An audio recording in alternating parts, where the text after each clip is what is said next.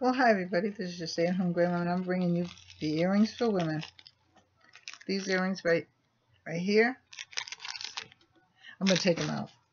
These are gonna be a gift, but I can take them out and then I'll put them back in again. I put them in a little box.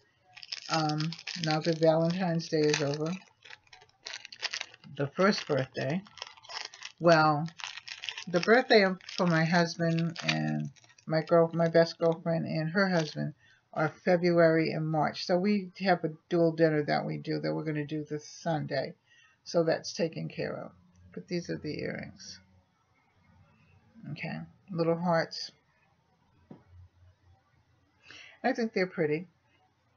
Um, and I guess they're, see, lots of times when they send me things, like I said, they don't give me the right instructions for them, but they are pretty so I will give them as a gift to one of my grandchildren.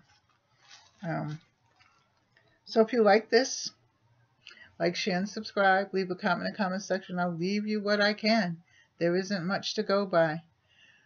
I love you. Take care. God bless. Bye-bye.